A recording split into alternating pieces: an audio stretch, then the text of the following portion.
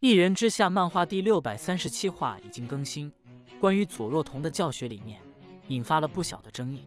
李慕玄天生犟种，自视甚高，且小小年纪也有游走世间的本事，天才，自然不肯服人。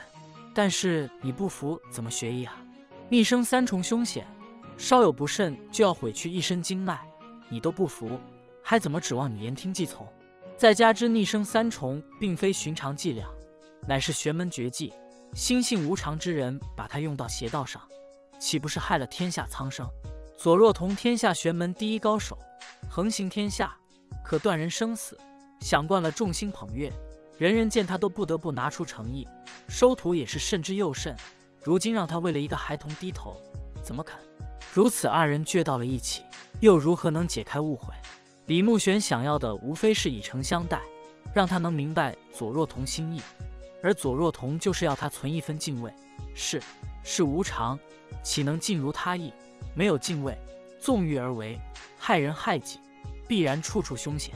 玄信也正是一群没有敬畏的纵欲之人，故而人人为敌，难得生路。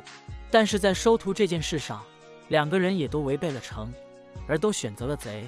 左若彤有心收徒，才严加考核，未能坦诚相告；而李慕玄有心拜师，却又暗藏私心，不肯心悦诚服，故二人为心中之贼所害，毁去彼此一生。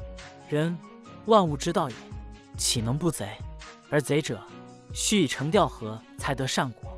反倒是全姓王耀祖，以诚相待，年事已高，恐不能久存于世，可求传人。以诚待人，自甘谦卑。不要跪拜，不求名分，只求传述。以诚待己，所求无非一生修为有所托付，看破那些世俗的花水月，看破内心的虚荣和假自尊。面对左若彤阻拦，就连性命也能豁上。站在李慕玄的角度看过这件事，我在你这里待了两年，你不说收，也没说不收，我怎么知道我是不是在浪费时间？有个老人想传我点手段，还是不用拜师那种。我岂不是可以既学他的手段，又可以拜在你门下？你又要弄死他，还叫我跟你走？跟你走，可以啊？你谁呀？什么身份呀？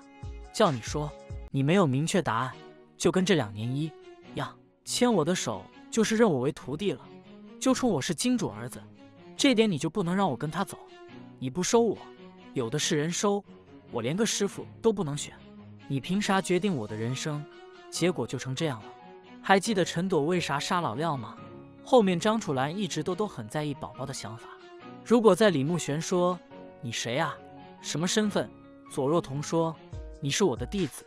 个人觉得李慕玄十有八九不会破罐子破摔。其实从这点上就能看出李慕玄和老老天师的区别了。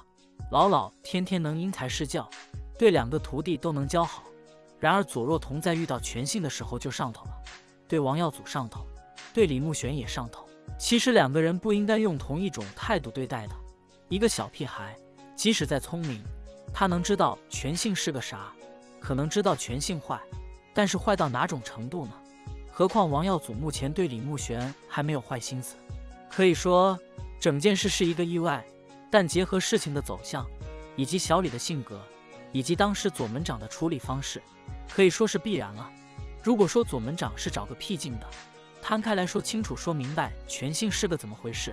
你如果进了他的门以后，就是随便什么人都能杀你，或者怎么怎么样？心平气和之下摊开来说，小李不会那个态度，小李会开喷是前后落差之下被击到了。